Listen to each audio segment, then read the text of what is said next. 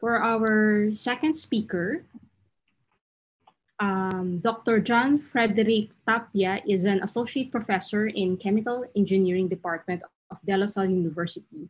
He earned his uh, PhD in chemical in engineering at De La Salle University and was a postdoctoral research associate in university last year. So his research interest includes uh, process systems engineering of low carbon energy systems, mathematical modeling of biomass value chains, uh, specifically oil palm value chain. And he's also interested in GIS-based analysis of suitable lands for oil palm. He has around 20 Scopus Index research articles and has an H index of 8. Without further ado, let's all welcome Dr. John Frederick Tapia. Hello. Um, thank you for that um, introduction. So, is my screen uh, visible in the uh, on Zoom? Yes, we can see it, Fred. Okay, so I'll start with, um, well, what I'm talking about today is about the ternary diagram visualization of epidemic progression. So specifically for COVID-19. So um, in the recent uh, news here in the Philippines, uh, we have been uh, tracking on how many cases uh, have been added uh, daily, how many have recovered, and how many died due to COVID-19. So we we thought of um, some visual, visualization in which we combine these three variables and plot it in a ternary diagram.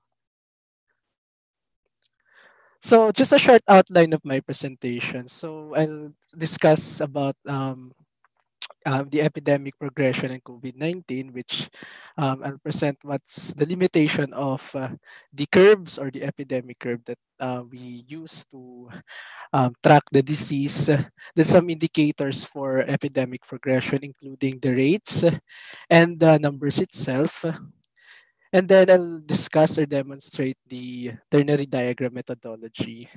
And uh, as the highlight of this talk would be the different uh, uh, uh, ternary diagrams, which includes an illustration of some selected countries, a scatter plot, the global data as of mid-June, um, the time when we are um, writing this um, um research um, study, uh, some select Southeast Asian countries. And recently, I just um, tried to um, determine what's happening, especially in the country, in the Philippines, and specifically in the uh, its main uh, region or main capital region, which is the NCR. So for the NCR plot, I'll be presenting what happened during the lockdown on or the enhanced community quarantine lockdown. And after the lockdown has been, or uh, after the lockdown being uh, loosened or becomes um, a general community quarantine and some advantages and then some advantages for the ternary diagram.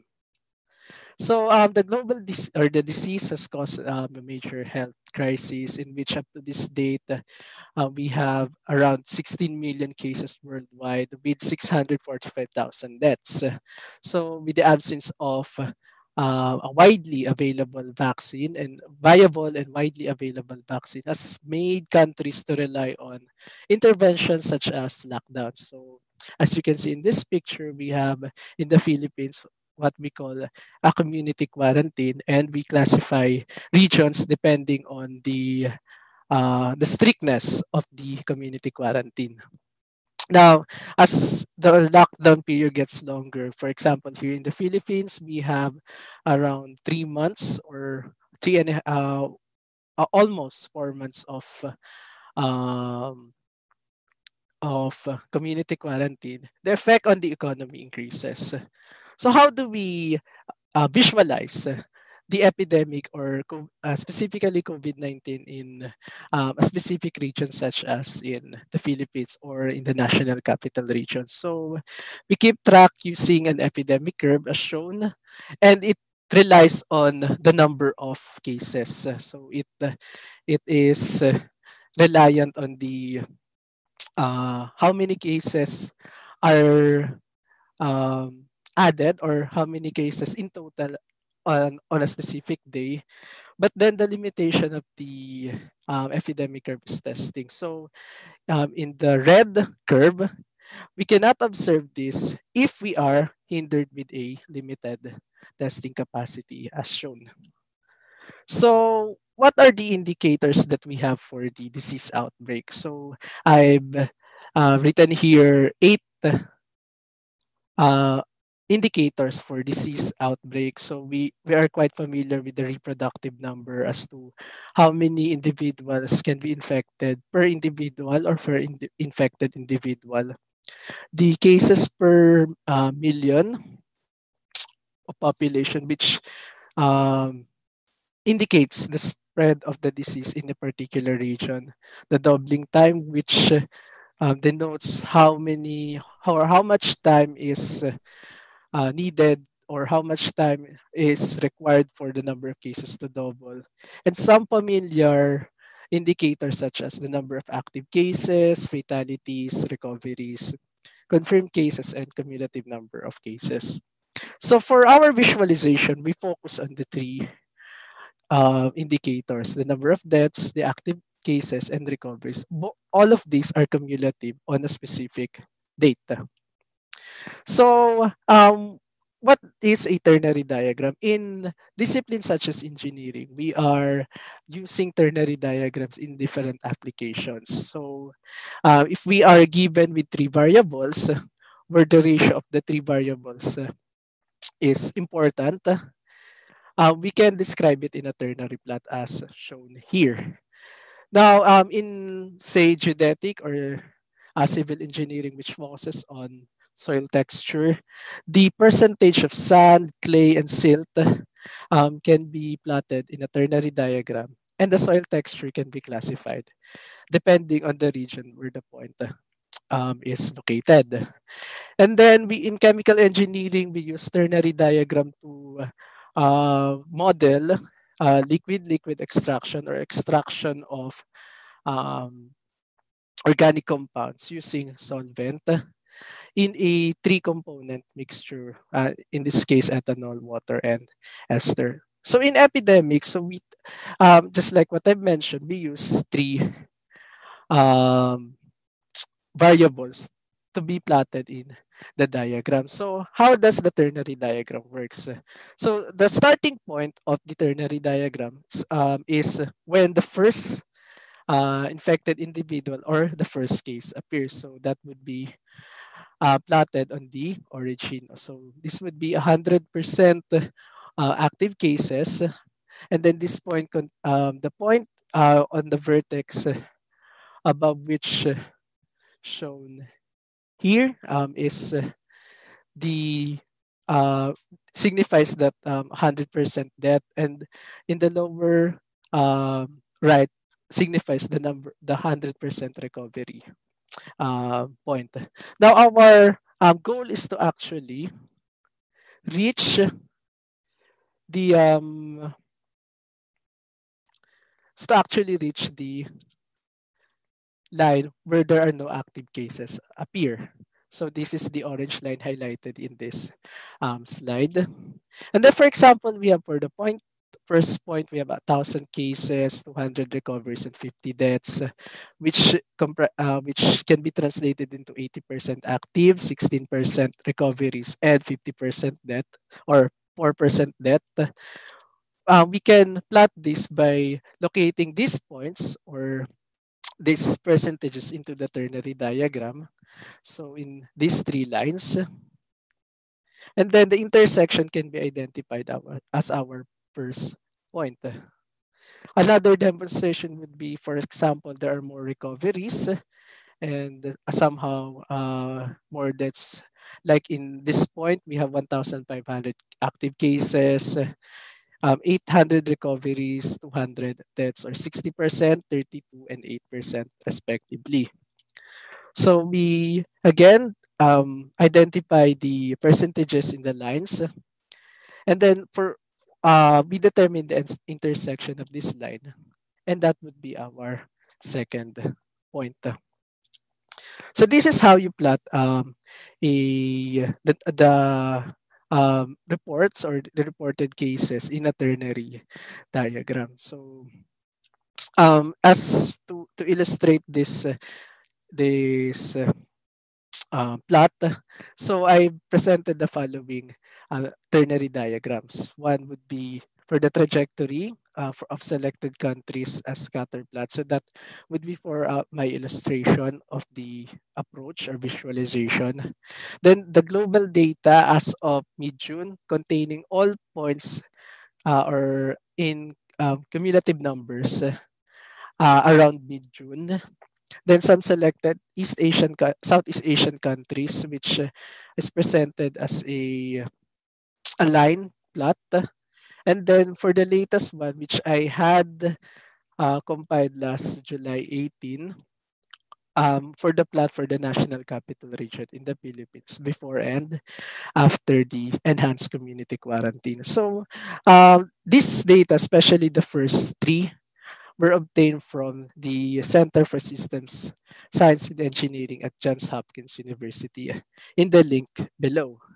Now, the NCR data was obtained from the DOH tracker, which I accessed um, July 23. And the data was uh, plotted in uh, Python using a uh, the ternary package, which I obtained in um, GitHub.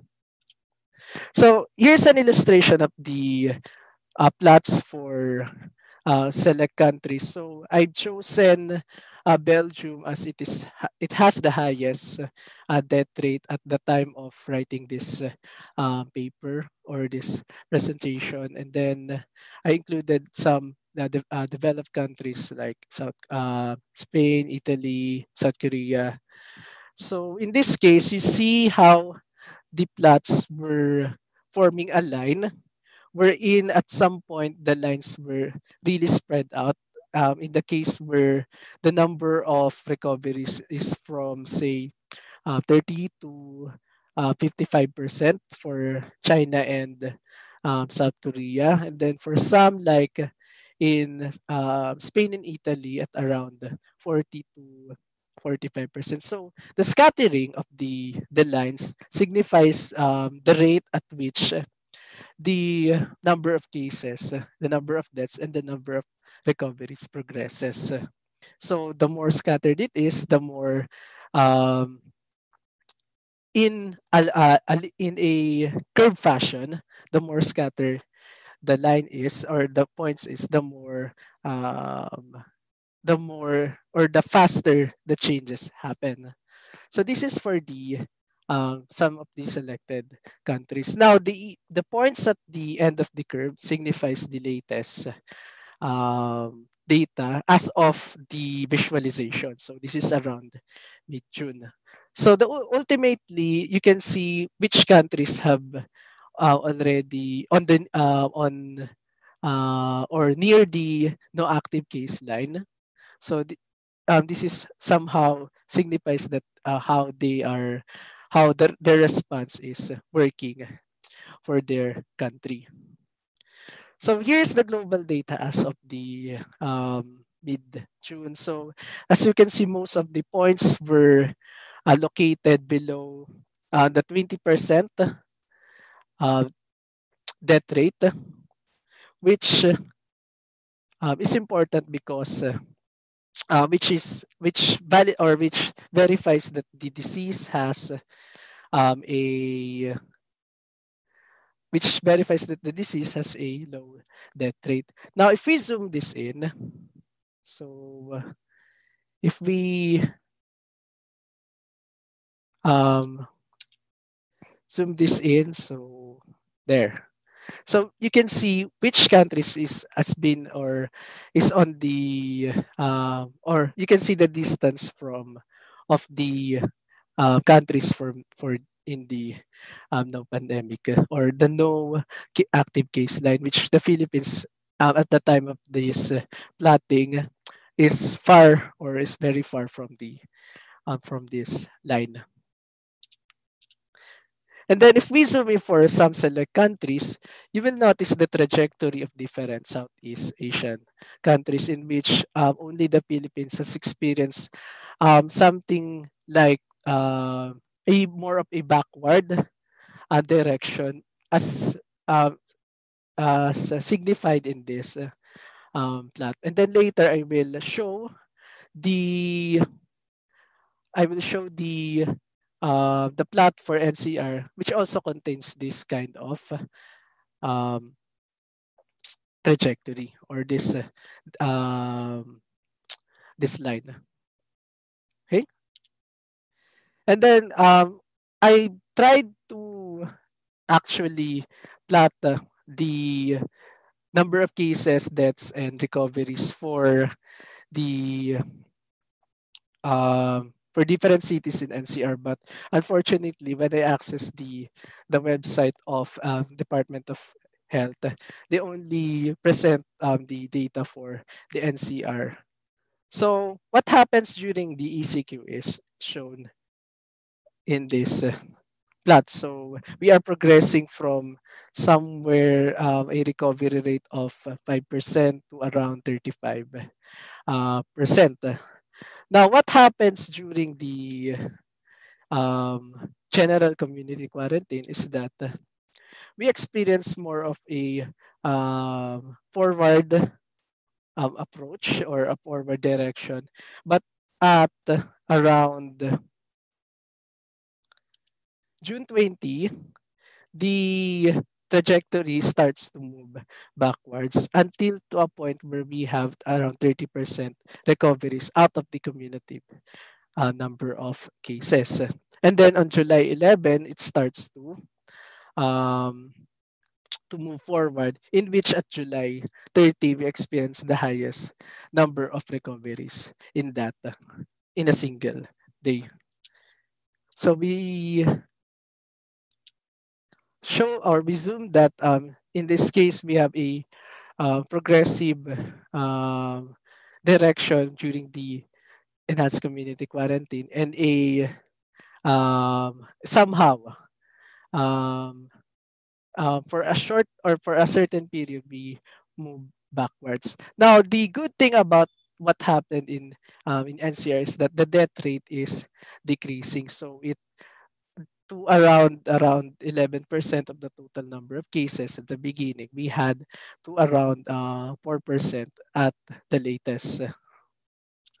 So what are the advantages of the ternary diagram? So as I've shown in this uh, um, in this uh, in the illustration, so it presents a two-dimensional progression of the epidemic, which shows a simultaneous plotting of um, number of cases, number of um, recoveries, and number of deaths. Then we can also compare the different uh, regions in terms of their um, progress from uh, since we have a um, more of a specific target in this uh, in this ternary diagram. And then the spread of successive points along the given trajectory is uh, indicates the dynamics. And finally, it, it provides a progress bar. So like what I've said, we have a certain point of origin and a certain point of uh, success for the um, the epidemic or the or in this case in the in COVID-19. Some conclusions. So the ternary diagram actually gives the some insights for planning as we can see how uh, how we are doing in terms of our interventions, lockdowns, or uh, if there are available antiviral antivirals and some other um, intervention. So I've already given the four main advantages of this cover uh, the epidemic curves. Then this can be used for insights for prioritizing facilities and financial aid or another measure. So if you have question after this talk, uh, just uh, send me an email to this email address as shown. So thank you very much for your attention. Okay, thank you, Dr. Tapia. Um, but for now, if you have questions, you can type it in the group chat box, either in YouTube or here in Zoom.